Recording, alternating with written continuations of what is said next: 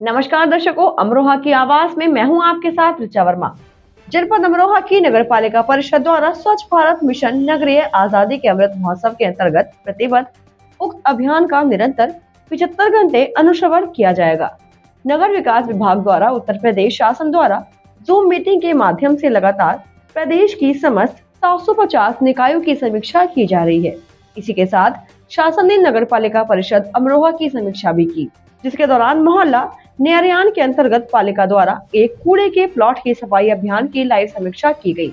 मौके पर उपस्थित अधिशासी अधिकारी डॉक्टर ब्रजेश कुमार द्वारा शासन की लाइव मॉनिटरिंग सेल को अभियान का सजीव अवलोकन कराया गया शासन की ओर से नगर पालिका परिषद अमरोहा के आज के अभियान को संतोषजनक बताया गया एवं अभियान की शेष अवधि में समस्त चिन्हित कूड़े के ढेर को समाप्त कर वहाँ स्वच्छ और सुंदर वातावरण विकसित करने के निर्देश दिए गए अमरोहा शहर की नगर पालिका परिषद द्वारा नगर के बिजनौर रोड पर स्थित जीवीपी की सफ़ाई करवाकर उक्त स्थान पर एक सभा का आयोजन किया गया, जिसमें नगर पालिका परिषद के अध्यक्ष शशि जैन अधिशासी अधिकारी डॉक्टर ब्रजेश कुमार के नेतृत्व में पालिका स्टाफ समाज सेवी एवं स्थानीय नागरिक उपस्थित रहे।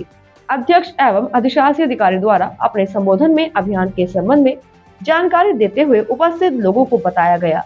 कि प्रदेश को स्वच्छ एवं सुंदर बनाए जाने के उद्देश्य से आज से आरंभ किए गए इस अभियान के अंतर्गत नगर के कूड़े के स्थानों को साफ़ करके वहाँ स्वच्छ वातावरण उत्पन्न किया जाना है। इस हेतु नागरिकों की भी यह ज़िम्मेदारी बनती है कि वह अपने घरों, दुकानों का कूड़ा पालिका के डोर टू डोर वाहन में ही डाले तथा पालिका द्वारा अभियान के अंतर्गत साफ़ किए गए स्थान को भविष्य में भी साफ़ रखे जाने में अपना सहयोग दे।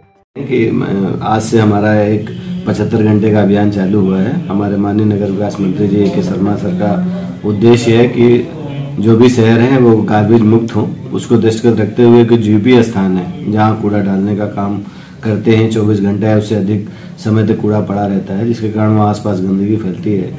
उसको दृष्टिगत रखते हुए अभियान चलाया गया है। ये पचहत्तर घंटे का अभियान है, जो 750 निकायों में लगातार ये अभियान चलेगा।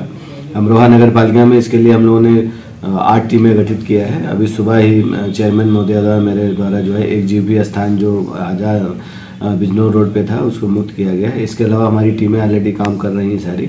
और ये चूँकि इधर बीरगत एक सालों से बहुत सारे हमने जीबी स्थान जो है ख़त्म कराए हैं और वहाँ ब्यूटिफिकेशन भी कराया जैसे संत चौक हो गया, वाल्मीकि चौक हो गया, गांधी मूर्ति हो गई, इन स्थानों का सौंदर्यकरण हो गया है। और यही लक्ष्य है कि इन तीन दिनों में जो है शहर को जीव भी मुक्त किया जा सके। इसको लेके हम लोग निरंतर प्रयास कर रहे हैं। और इसी के साथ देखते रहे अमरोहा की आवाज़।